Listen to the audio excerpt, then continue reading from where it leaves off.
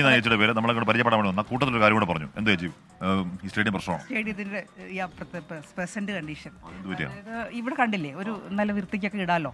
ഉറപ്പാണ് പിന്നെ ഈ കെട്ടിടം എനിക്ക് തോന്നുന്നു എനിക്ക് പണിഞ്ഞ കാലം മുതൽ തന്നെയാണ് ഇപ്പോഴും. ആ കളി കാണാൻ അത് കളി കാണാൻ വരാറുണ്ട്. അപ്പോൾ അത് നമ്മൾ ഫാൻസിന്റെ ഫാൻസിന്റെ കൂടെ ഇരുന്ന് കളി കാണുമ്പോൾ പിന്നെ ഭയങ്കര ഉത്കമുണ്ട് കുലുങ്ങും?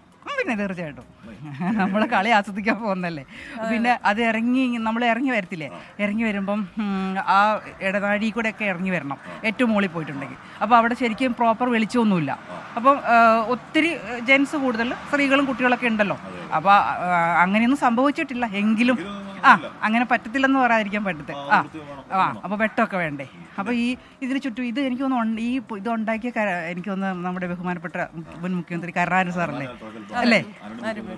ആ അങ്ങനെയല്ലേ. അപ്പോൾ ആ യെസ് ആ അപ്പോൾ ആ പുള്ളിയുടേതായിട്ട് ഞാനൊന്നും ഇവിടെ കാണുന്നില്ല. ഓക്കെ അതില്ലെങ്കിൽ ഇത് ഇത് ഇത് ഞാൻ പറഞ്ഞു ഉണ്ടാക്കിയ നാൾ മുതൽ ഇങ്ങനെ ഇരിക്കുന്നു നിൽക്കുന്നു. ഇപ്പം നമ്മുടെ ഈ ഇത് മെട്രോ സിറ്റി അല്ലേ ഈ മെട്രോ സിറ്റിയുടെ എന്തെങ്കിലും ഒരു വൃത്തിയോ വീറോ?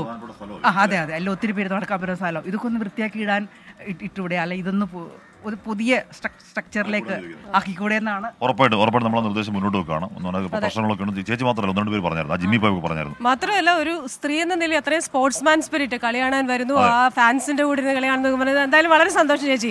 എന്തായാലും ഈ പറയുന്ന അന്നത്തെ കാലത്തെ ഒരു സെറ്റ് പോലും ഇവിടെ ഇടേണ്ട ആവശ്യമില്ല. അതേപോലെ പടം പിടിക്കാമെന്നാണ് ചേച്ചി പറയുന്നത്. നമ്മുടെ ടെക്നോളജി വളർന്നല്ലോ. പുതിയ പുതിയ കെട്ടിടങ്ങളൊക്കെ പുതിയ പുതിയ സ്ട്രക്ചറിലല്ലേ എത്ര പെട്ടെന്ന് ആ. അപ്പോൾ ഇത് പക്ഷേ ഇത് ഇത് റെനോവേഷൻ എന്ന് പറഞ്ഞിട്ട് നമ്മൾ ഇട്ടിട്ട് പിന്നെ ഇവിടുത്തെ സ്ഥിതി അതാ. എന്നെങ്കിലുമൊക്കെ തുടങ്ങി കഴിഞ്ഞാൽ പിന്നെ അത് കാലാകാലം അവിടെ കിടക്കും. അതൊന്നും ഇല്ലാതെ എത്രയും പെട്ടെന്ന് ഇതൊന്ന് മനോഹരമാക്കി കാണാൻ ഒരു കൊച്ചി നിവാസി എന്ന നിലയിൽ ഇപ്പൊ.